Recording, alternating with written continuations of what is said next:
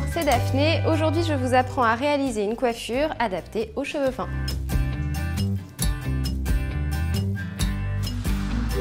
Pour réaliser ce chignon sur cheveux fins, on va devoir tricher pour créer de la matière et pour ça, on va utiliser un postiche en forme de donuts.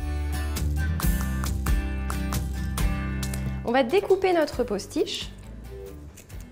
Donc là, on obtient une bande comme celle-là. Et on va ensuite couper environ un tiers de notre postiche. Voilà ce qu'on obtient. Ça va nous permettre de créer de la matière et en même temps on pourra le cacher très facilement puisqu'il n'est pas trop gros. Si vous êtes brune, euh, que vous avez les cheveux foncés, plus foncés que les miens, n'hésitez pas à acheter un postiche foncé également. Il en existe des noirs, il en existe des marrons. Donc voilà, adaptez la couleur de votre postiche Donuts à la couleur de vos cheveux.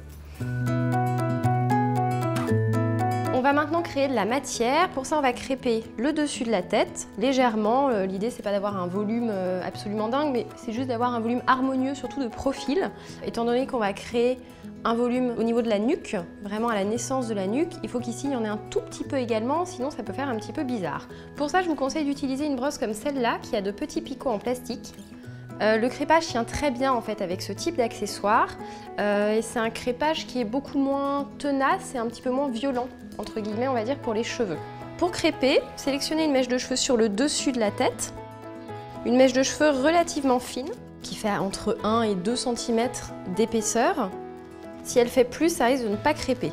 On prend la brosse et ensuite on va la positionner à quelques centimètres de la racine, puis tout en tirant sur la mèche, on pousse la brosse vers la racine. On l'enlève et on répète ça à peu près 3-4 euh, fois. Voilà. Maintenant, je vais faire la même chose sur une mèche juste derrière.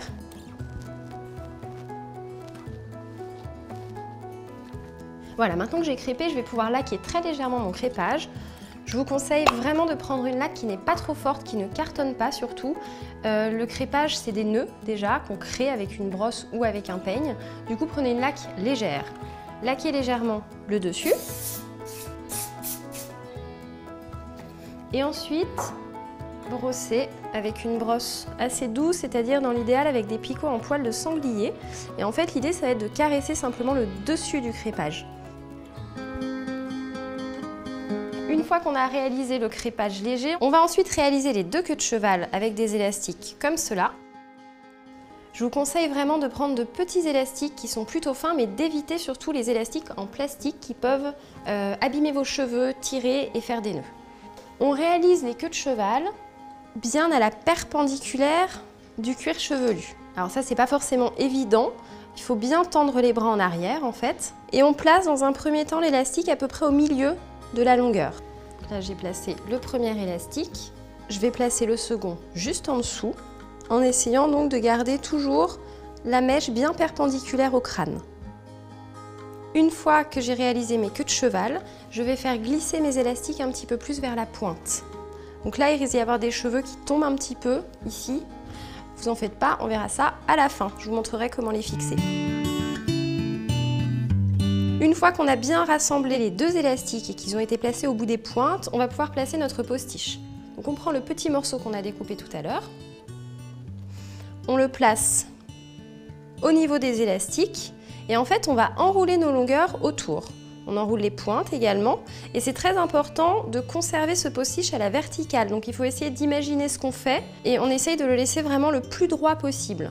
On enroule donc les cheveux autour et une fois qu'on est arrivé au niveau du cuir chevelu et qu'on ne peut plus enrouler les cheveux autour, qu'il n'y a, plus de, plus de longueur, on va fixer avec les épingles. Comme épingle, on va prendre ces épingles-là, les grandes épingles, Sachant que, petite information, si vous avez les cheveux plus longs et donc plus de longueur à fixer, vous pouvez éventuellement prendre ces très grandes épingles qui s'utilisent exactement de la même façon que celles que je vous ai montrées avant, mais qui permettent de fixer une plus grande quantité de cheveux. Donc je reprends celle-là par rapport à ma longueur de cheveux et je place la première vraiment au niveau du postiche. Donc plutôt sur le haut du chignon, de cette façon. Et ensuite, je vais en placer d'autres en descendant petit à petit. On va maintenant placer les dernières épingles qui vont nous permettre de resserrer la coiffure, donc de la fixer encore un petit peu plus et surtout de peaufiner en même temps les volumes. Par exemple, si vous avez un volume qui est un petit peu trop imposant en haut de la coiffure par rapport au bas, Vous remettez les mêmes épingles de la même façon et normalement, ça devrait rééquilibrer un petit peu tout ça. A terminé notre chignon, que tout est fixé et que les volumes nous conviennent, on va pouvoir peaufiner la coiffure. Pour ça, on va utiliser les petites épingles. Donc ce sont exactement les mêmes euh, que les grandes épingles, elles ont la même forme, en plus petite, et elles servent à fixer une plus petite quantité de cheveux. On prend la mèche qu'on a envie de fixer, on la place à l'endroit où on veut qu'elle soit fixée. Et ensuite, en fait, l'idée, ça va être de coincer cette petite mèche en dessous de l'épingle. Donc on va pas piquer directement la petite mèche, je vais m'accrocher juste en dessous et je passe par-dessus la mèche que j'ai envie de fixer. Et maintenant, je fais la même chose de l'autre côté pour cette mèche-là. Après, si ça, c'est quelque chose qui vous plaît, vous pouvez très bien les laisser euh, détacher pour un effet un petit, peu plus, euh, un petit peu plus naturel. Surtout si vous avez les cheveux bouclés, par exemple, ça peut être très joli.